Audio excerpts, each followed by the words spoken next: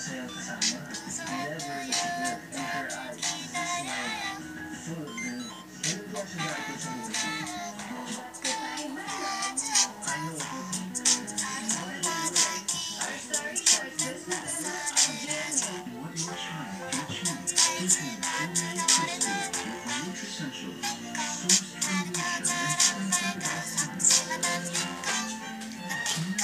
you.